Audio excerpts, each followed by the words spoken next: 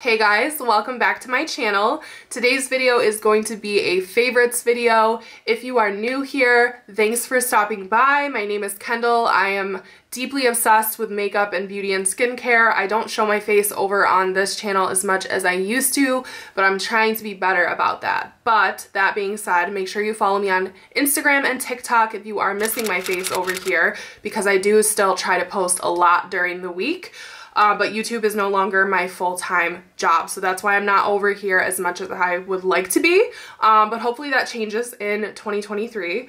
Also, I am a little bit under the weather and I can hear it in my own voice that I don't really sound like myself. So I apologize for whatever is going on here. I have a variety here, a little bit of makeup, skincare, lifestyle favorites, and a lot of these I have not shared yet, so I'm really excited to dive in. Uh, favorites videos are my favorite to watch and to film. So let's get into it. I have a lot to talk about. So let's start off with a drugstore primer. So e.l.f. came out with a Power Grip primer with niacinamide. I'm a big fan of the original Power Grip. My favorite is the Jelly Pop and we're all kind of bullying e.l.f. into bringing it back. So like keep bullying because they're hearing they're hearing us. I don't know if they're gonna bring it back. I think they wanted to go completely fragrance free so they came out with power grip and now a pink version of power grip. It's trying so hard to be jelly pop but it's not. But to be honest, these are exactly the same, just without the watermelon scent in my opinion. And now this one has that added skincare. I wore it today. It really does help makeup to stick and last all day long. If you happen to wear makeup to work or wear it to the gym, you're gonna wanna try a primer like this because that is not going anywhere, even through sweat. And that's why I love it so much. So I'm a big fan of gripping primer. I think if you guys know me, you know that I've been going on about gripping for years now. I hate the way I sound right now, you guys. I'm so sorry. I'm so nasally. Moving on to a body care item that's a little bit boring. I want to get it out of the way. Um, long story short, Aveeno has unfortunately discontinued the best lotion that they ever had and the only lotion that pretty much cured me of my eczema. So that lotion was the Creamy Moisturizing Oil with the pink cap. They have reformulated it and the new version is not even close to being the same. The ingredients are different it's different. It's not the same at all and it works differently now. So I tried to go out into the world and find a lotion that does the same thing for me and I came pretty close with this next favorite. It's still not as good as my past lotion. This is the Nivea Essentially Enriched Deep Nourishing Serum with almond oil. This is the almond oil version. I have the past version of this without almond oil. I think I need the almond oil to help my eczema. So this has been really great. The only thing is, um, if you know this lotion, you know it leaves like a really, I, I want to use the word greasy, but it's not greasy. It leaves like a thick, nourishing layer on your skin and it doesn't absorb 100% right away like the Aveeno did. So that's the main difference. This is much thicker and it does sit on the skin a little bit. Um, but honestly, I don't care. I've really been loving it and I haven't had my eczema return. So it's doing its job. It's just not like the most perfect formula in the world, but it's actually cheaper than the Aveeno Creamy Moisturizing Oil. And I think it comes with a little bit more. So I like it. I think it's really good. And if you do struggle to find an alternative in case you're out there like me, um, grasping, like hoping that Aveeno brings that back, I don't think they're going to, uh, try this one. It's a really good, deeply moisturizing lotion and it does its job. So been loving that. So lately I have discovered not only the need, but the love of doing a double cleanse. So making sure that all of the oils, sunscreen, makeup is off of my face has been super important. And in order to really achieve that, you need to go in with like an oil-based cleanser, uh, cleansing balm, and then go in, follow up with your gel cleanser or your like normal cleanser after that. That's a double cleanse. This is almost gone, but I've actually really loved this as an oil-based cleanser. This is the Krave Beauty Makeup Rewind Transforming Jelly Oil Cleanser. Honestly, at first, I didn't read the fine print and I didn't know that this was an oil cleanser. but it was breaking down my makeup so well. But I finally realized what it was and I incorporated it into the proper double cleanse routine. And that's when I really fell in love with this product. I can't believe I went so long thinking like, this cleanser, it's like really oily, but like it gets my makeup off and I wasn't following up with another cleanser after, but now I am and it's a miracle worker. It's like too little too late because it's almost gone, but it's a really, really good oil-based cleanser if you're looking for one. Of course, you can use a cleansing balm. I do alternate with the Farmacy, but this one's like a little bit easier. You don't have to scoop out a product. It's in a tube and ready to go. And some people do prefer oil over the balm form. So if you're looking for a really good oil cleanser that is good for sensitive skin, acne prone skin, all of that, this is really good. So my lifestyle has been a lot busier than I guess pre-pandemic. Like once the pandemic hit, I scrambled to find another job and then my job that I lost because of the pandemic came back so I was working two jobs. So now I'm working two jobs and social media and social media is very very important to me. So long story short, I'm working every single day, like seven days a week, and I also work out. So a very important product to me has become dry shampoo. I used to not love being a dry shampoo girly just because I love the feeling of having like freshly washed hair. But if you work out, you know that you're in this like love-hate relationship cycle with your shower and when you're washing your hair. And I think it's a well-known fact that it's better to give your hair a couple days. Like, don't shampoo it every single day. I mean, you do you, but I'm on a hair growth journey and I feel like I've seen the importance of skipping wash days. So I will wash my hair and then go one or two days is as long as I can go and then I'll wash my hair again. I, this is going on a tangent, but basically I need a really, really good dry shampoo and I think I found the best one yet. This is from Living Proof. It's the Perfect Hair Day dry shampoo and I think what gets me about this is it says right on the bottle, actually cleans hair, eliminates oil, sweat, and odor. And I have felt that. Like I have a lot of dry shampoos and a lot of them I do love, um, but this one, it just hits different. It smells really good. It does smell like you just left the salon, but I find that if I spray this in, I really rub it in, brush it in, all of that, and then let it sit, it actually feels like my hair is freshly washed. So that makes all the difference for me. I know that this is high end, it's more expensive, but I honestly think it's so worth it. I know that they have another version, like a more advanced version of this as well. I have not tried that one yet. I don't know how you can get much better than this one, but this has been a game changer for my lifestyle lately. And especially, like, I know it sounds gross, but especially after like a light gym day where you didn't completely like wreck your hair with sweat, but like you need to actually clean it. This is so, so good for that. So thank you Living Proof for saving my life with this dry shampoo. I have kind of a weird I, I, guess it's not weird, but kind of a weird lifestyle favorite to share with you guys. And that is literally the best mouthwash I have ever used in my entire life. I've always used mouthwash. I've always used the ones that like burn the crap out of your tongue and your gums. And like, I, I don't hate that. Like, I'm fine with it. But this is not like that and it's even more effective. And I feel like if you want to make sure that your breath is smelling good, all day long, you need to try this brand because it's actually crazy. Like, I feel like I never ever have stinky breath, like literally ever. This is the TheraBreath Dentist Formulated Healthy Smile Oral Rinse. I've used like the teal bottle of this and really liked it, but the past couple times I have purchased this pink bottle. This one is for fighting cavities, strengthening teeth, enamel, and fresh breath. I've had a little bit of sensitivity lately. I'm not sure why. I knock on wood, I've never had a cavity, so I just, I'm not used to feeling any kind of sensitivity, but I think it's because of the cold. It's been super, super cold here where I live, and I feel like like my two front teeth are super super sensitive because of the cold so I did buy like Sensodyne toothpaste but I also am focusing on this version because it's supposed to be good for like your enamel and strengthening your teeth and all of that. So basically, if you want your breath to smell good for an extended period of time, try this. It doesn't burn, it doesn't have the same like alcohol based formula as like most mouthwashes. Sick brain. and weirdly enough, you can purchase this at Ulta and use your $3.50 off coupon, which is what I've been doing. It's at Target and Walmart too, but I like to use that coupon. In the winter, I do have the most dry as a desert skin on my face, on my body, everywhere. So this is actually a newer product, but I've been using it every night since they sent this to me. This is from Kiehl's, and I've loved Kiehl's products in the past. They have a lot of good, like, sensitive skin products.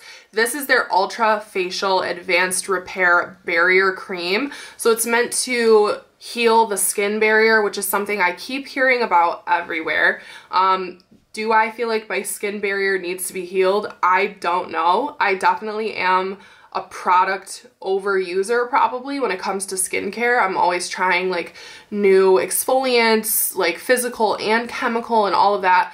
And I imagine that it does a little bit of damage. So I like having a product that's like deeply, deeply hydrating, but also specifically made for healing your skin barrier.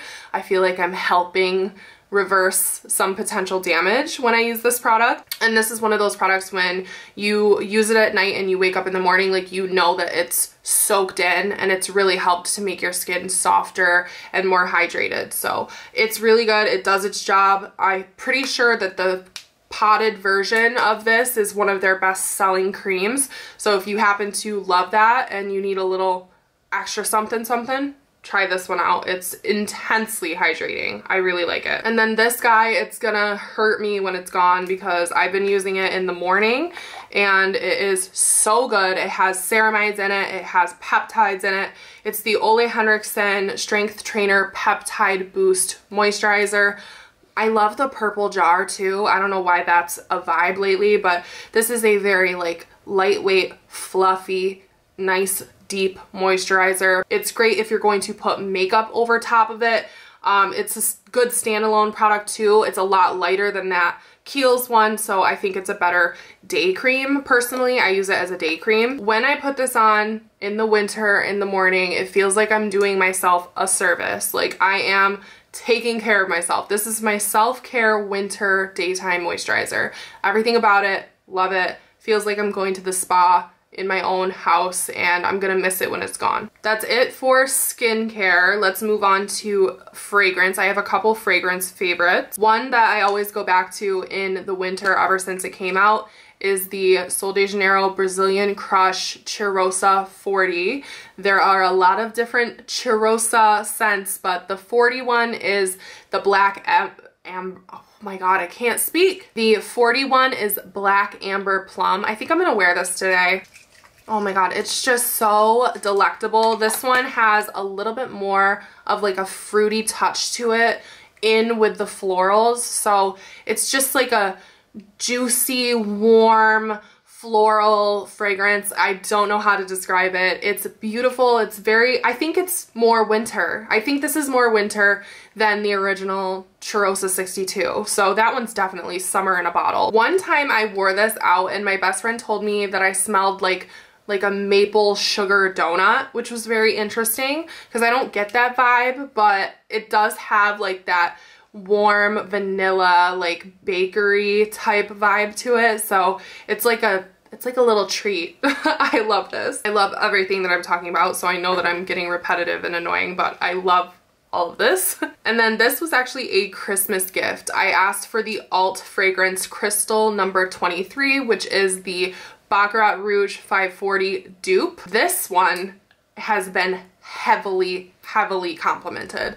Every single time I have wore this, uh, I'm getting compliments from my boyfriend, from people like out in the world. They'll stop me and be like, oh my God, what is that? You smell so good. And I honestly like, I go nose blind to fragrances really easily. And this one I have not gone nose blind to. Like every time I smell it, I'm like, you're that bitch when you wear this. Like this is so good that I, I do wonder about the original Baccarat. I do have a story, short story. People say that when you smell Baccarat, like you just know what they're wearing.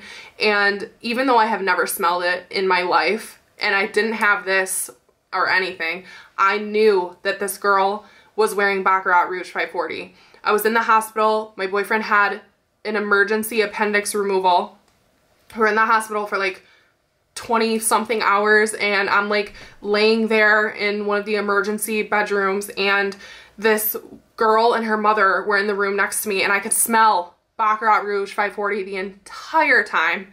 And I was overhearing their conversation and she was from LA and she was like a gorgeous blonde with like, you know, all the trendy jewelry and, and purses and whatever. So I just knew. So I just knew it was Baccarat Rouge 540 that she was wearing.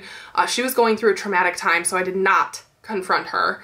Um, but yeah, she smelled really good and I smelled it all night long. I was unintentionally trauma bonded with this girl that I've never met.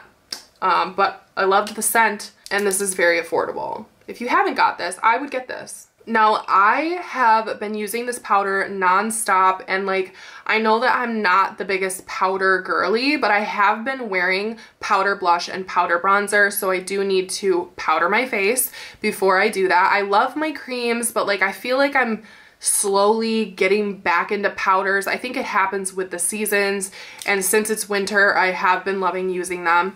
Um, but I think this deserves a shout out because it's so fantastic. I think I've talked about this already, probably. It might have been a favorite in my yearly roundup. But it's the talc-free powder from Laura Mercier, the translucent loose setting powder ultra blur version.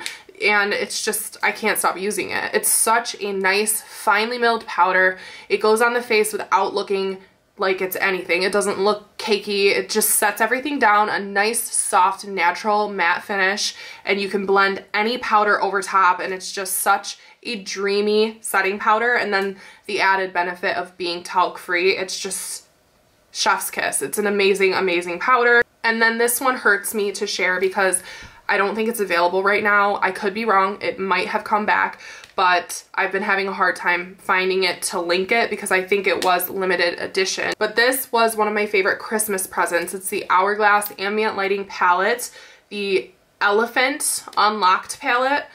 Um, I believe it was a holiday limited edition palette. God, I hate my nasally voice right now. Is she not just the most gorgeous selection of powders? I have the bronzer on today. I have the blushes on today. I have a little bit of these like setting powders under my eyes today. Like it's just such a beautiful complexion product and I product. I know that this is like wildly expensive, but there's just something so satisfying. Like this is one of my like big presents that I asked for and like I'm just so happy to have this in my collection. As somebody who does overspend on makeup, um, this is just such a nice gift. Oh, it's such a nice gift because I don't know if I would have bought it for myself. Here are the shades in this palette in case you want any of them individually. The two finishing powders are Dim Light and Soft Light. There's a metallic strobe powder highlighter. It's Beaming Strobe Light. The bronzer is Lustrous Blonde, Blondes.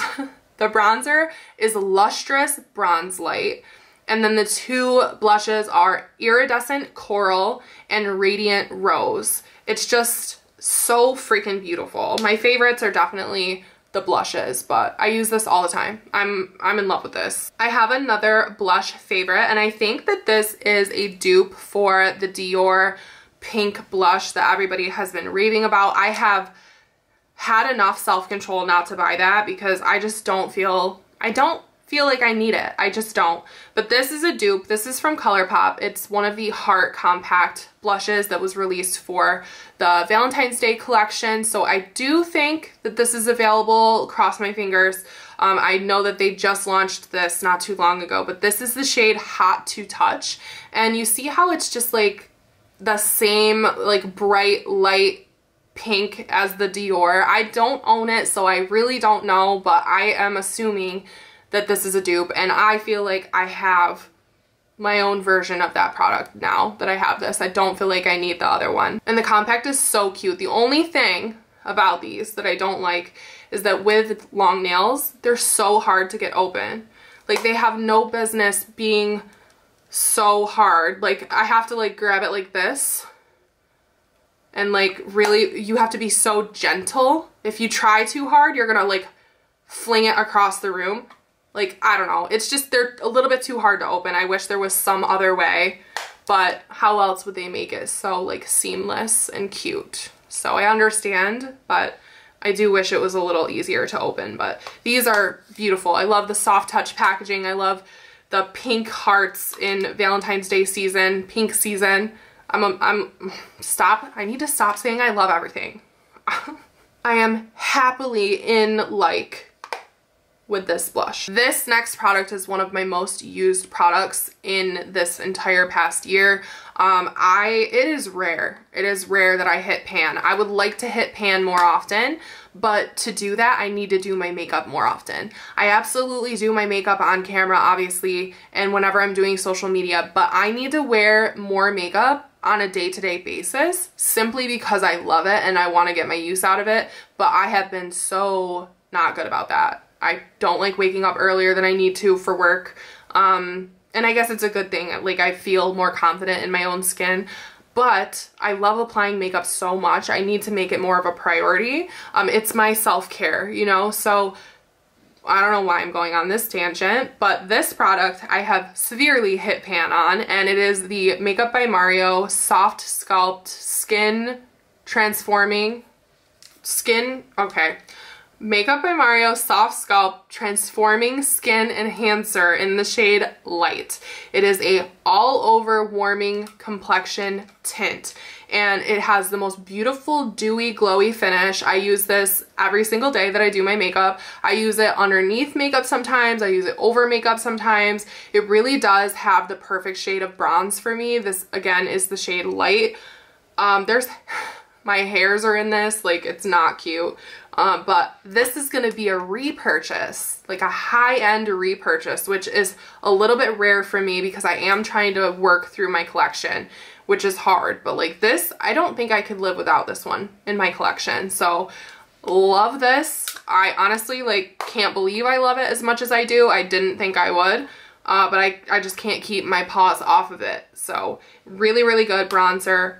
One of my top favorite bronzers ever honestly. I want to mention this eyeliner simply because I have not mentioned it and I have been wearing it a lot. This is something that I will wear on like a day-to-day -day basis if I'm running out the door and I just want my eyes to look a little bit more open like I tried a little bit. Um, it is a brown liquid liner from Huda Beauty. It's the Huda Beauty Life Liner Quick and Easy in Very Brown. And these have the skinniest little tip on them. Oh, I'm wearing my watch. I never wear my watch in videos, but it's super brown. It's got a super skinny tip. I love the life liner. I also use it in black. It's like a pen, like a marker with a brush tip, I think. it's not felt tip. It's super, super skinny, very high quality. The black one has lasted me so long that I'm like, how are you not running out yet? So this one's fairly new to me, but it's been a really good brown liner. I was using the Benefit one. That one finally did dry up. So I've shifted. This one's a little bit darker, I want to say, than the Benefit one, but it does say very brown. Very brown. And then my final favorite is this drugstore gloss from CoverGirl. This is the Clean Fresh Yummy Lip Gloss. I did post a swatch, lip swatch video all on TikTok Instagram and over here. Um, but it's funny because everybody's like telling me, oh, they, they look the same because there's a bunch of colors. I have all of them in front of me. And you guys, they are tinted lip glosses. Like these three are gonna look very similar, but you don't need all of them. I have all of them just because I wanted to share them all with you guys, but my favorite shade is the My Straw Booty. And I love this so much because I think it's a drugstore alternative for the Dior lip oil. Oh, it smells so good. I wore this to breakfast this morning with my grandma and she was like, what do you have on your lips? They look so juicy. And it's this. Truly, honestly, it is really, really similar to the Dior. Um, the only thing, the Dior I think is stickier and therefore lasts a little bit longer on the lips. These aren't sticky. These are smooth, hydrating, they smell good. I really love them. No, you don't need every single shade.